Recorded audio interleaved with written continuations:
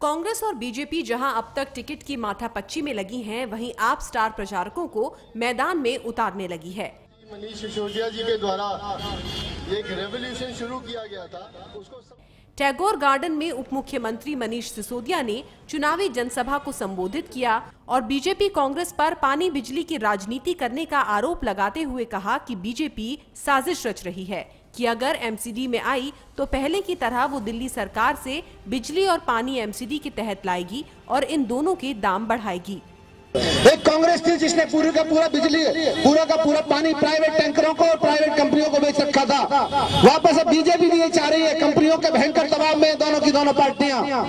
BJP वाले इस फिराक में हैं कि अगर नगर निगम में दोबारा से आ जाए तो दिल्ली सरकार पानी का काम छीन के वापस नगर निगम को दे देंगे।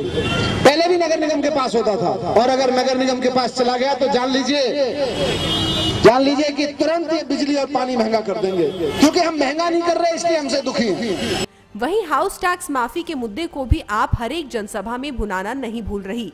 इस मुद्दे पर भी मनीष सिसोदिया ने बीजेपी को कटघरे में खड़ा किया। कि हम नगर निगम में आएँगे तो सबसे पहले दिल्ली की जनता को जिसने रैकेट ने लूट रखा हाउस टैक्स का रैकेट हाउस टैक्स के दलालों का रैकेट उससे मुक्ति दिलाएँगे दिल्ली में हाउस टैक्स खत्म कर देंगे। ये जब हमने कहा तो बोले तो पार्लियामेंट से कराना पड़ेगा। अब इनको ये नहीं पता था हम भी सरकार में बैठे हैं दो चार कागज़ हमारे हाथ में भी है।